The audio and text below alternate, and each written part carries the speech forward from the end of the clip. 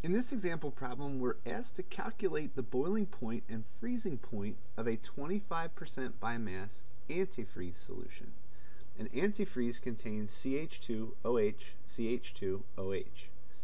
We have a KB of 0.51 degrees Celsius per molal and a KF of 1.86 degrees Celsius per molal. In each of these equations, we need to determine what the molality is. So the molality of this solution is going to be moles of C2H6O2, which is our antifreeze, divided by kilograms of water. So we have moles of solute per kilograms of solution. Okay, so it's a 25% by mass antifreeze, so that means that we're going to have 25 grams of C2H6O2 and we're going to have 100 grams of that solution. So that means the grams of our water has to be 100 minus 25 or 75 grams. We can do a conversion then. We know that 1 mole of C2H6O2 is going to be 62.1 grams. And then we also know that a thousand grams of water is going to be one kilogram. So that gets rid of our grams of our antifreeze, our grams of our water, and we're left with moles per kilogram.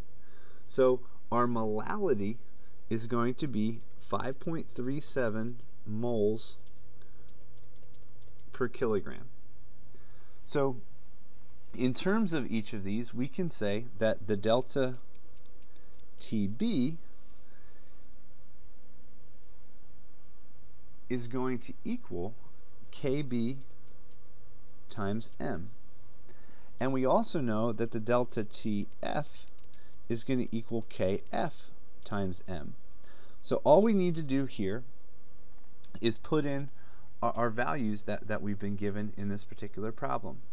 The Kb is going to be 0.51 degrees Celsius per molal, and our molarity we know is 5.37 molal. That gets rid of these two guys, and our change in temperature in terms of the boiling point is going to be 2.7 degrees Celsius.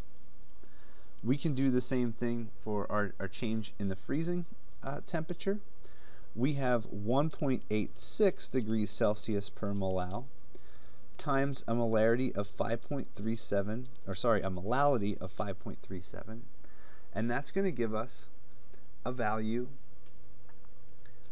of 10 degrees Celsius. So we need, and we weren't given here the, the boiling point or, or the freezing point of water, but we know that for pure water, the boiling point is going to be 100 degrees Celsius, and the freezing point is 0 degrees Celsius.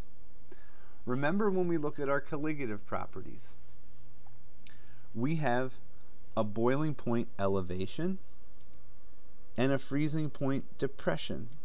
So when we look at this change in temperature, we need to add the value, which in this case is 2.7 degrees Celsius, to the 100 degrees Celsius. So our new boiling point is going to be 102.7 degrees Celsius.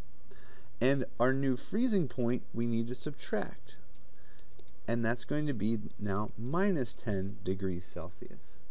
So remember, we have boiling point elevation and freezing point depression. So here's our new boiling point, and this is our new freezing point with the antifreeze solution added to the pure water.